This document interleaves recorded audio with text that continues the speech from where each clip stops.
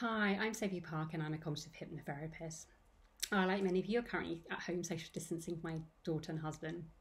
And it's been a you know funny few weeks since our life as we knew it changed with lockdown.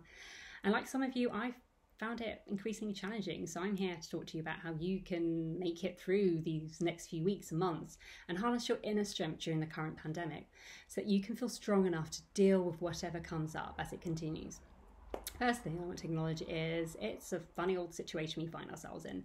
There is no blueprint for how we should be acting or what we should be doing beyond following the government guidelines around social distancing. It all feels really uncertain as the world as we know is constantly changing.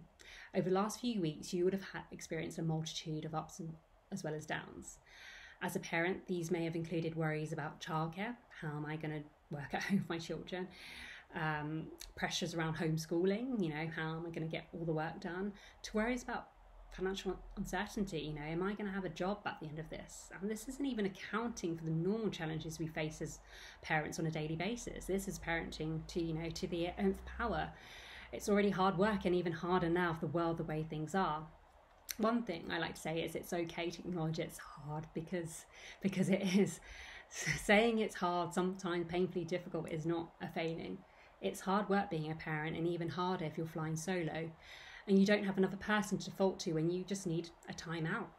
And you know, we can't ignore the emotional impact um, of social distancing and the lack of uh, you know face to face human connection and not having our usual network around us is having on our mental well being. So, you know, go easy on yourself many of the challenges that you will have experienced or will continue to experience will have come and will become obstacles uh, which you will overcome and you know and win and you'll lose some uh, but that's fine because you can't win them all. So you know pick your battles. And for all the victories i would encourage you to celebrate each and every one. One thing i am so certain of is that you are doing better than you think you are. Okay maybe like me you haven't had your a game on as a parent each and every day uh, and been following the curriculum or early years framework. And that's perfectly fine. You're not a teacher or early years specialist.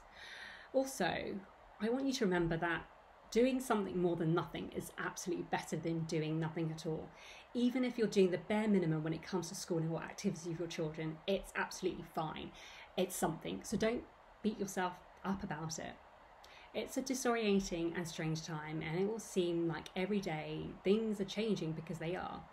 Something I remind myself and tell my clients is that even in the craziness of whatever happens in the world, the one constant in all of this is you you know? That's the one thing you have control over.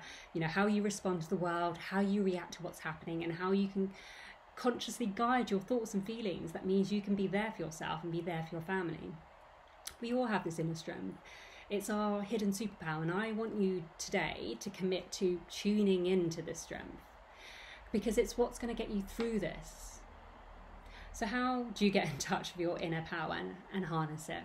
Firstly, it starts with, with you, knowing who you are, what makes you tick. For example, do you know what your signature strengths are? We all carry a unique set of signature strengths, and signature strengths refer to those character strengths that make up our personality. They include things like, um, like curiosity, creativity, and justice. And research has shown that if you feed your signature strengths, the happier you are because you're giving meaning to your life and you can create a feeling of flow, that feeling when you're in the zone and totally absorbed in something. Pure joy. If you want to find out what your signature strengths are, there is a great website uh, which includes tips on how to feed them, and it's a free resource. Um, and you can uh, you can find uh, the signature strengths questionnaire at um, viacharacter.org. Um, but of course, we have to acknowledge that building resilience and strength isn't just about kind of putting in the hours and work and time. Sometimes the best work is done when you choose slow down and just pause. Whether it's listening to a meditation app, following an online yoga class, or just listening to some music, I would really encourage you to make time your day away from your children and distractions, even if it's for 15 or 20 minutes. And I try to do this before I go to bed because that's when my daughter is asleep. And if meditation is not your bag, you could try 478 breathing, a mindful and relaxing breath technique which involves you focusing on taking a long, deep breath in and out. To do 478 breathing, first find a comfortable seated position, and what you do is place the tip of your tongue on your gums right behind the top front teeth. So, this area here. And you keep your tongue here the whole time you're breathing in. So, you start 478 breathing by first breathing in quietly through the nose for four seconds.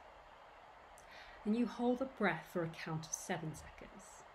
And you blow out through your mouth like this. Your lips slightly pursed together, making whooshing sound. And you for eight seconds. And you repeat the cycle four times. And I encourage you to practice twice a day to really see the benefits. And also, it's a great practice if you're having trouble falling asleep. Third thing you can introduce in your day is a gratitude practice. In positive psychology research, um, practicing gratitude is shown to help people feel more positive emotions, but also contribute to overall health and well-being. Practicing gratitude, whether that's writing a list of three things that you're grateful for or keeping a journal, will help train your mind to search for positives on an unconscious level in terms of how you perceive your life and what's happening in the world. It's something I've been doing with my NCT friends where we text each other three things we're grateful for every day. Giving thanks is also great practice for children. A twist on the gratitude practice is an exercise I learned last year from the psychologist Maria Sirois.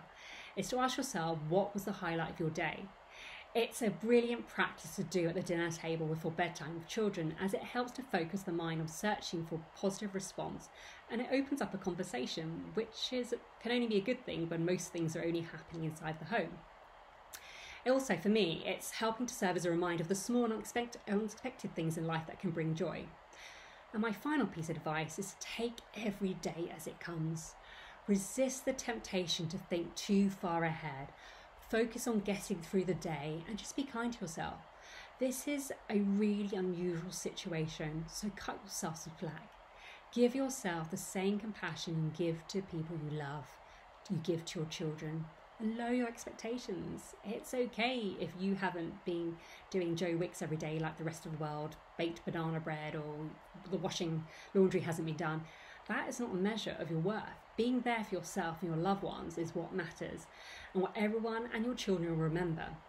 How you made them feel happy and secure because you were and are. Don't be too hard on yourself. You've got this. I'd love to hear how you get on, so please feel free to find me on Instagram at The Inner Practice.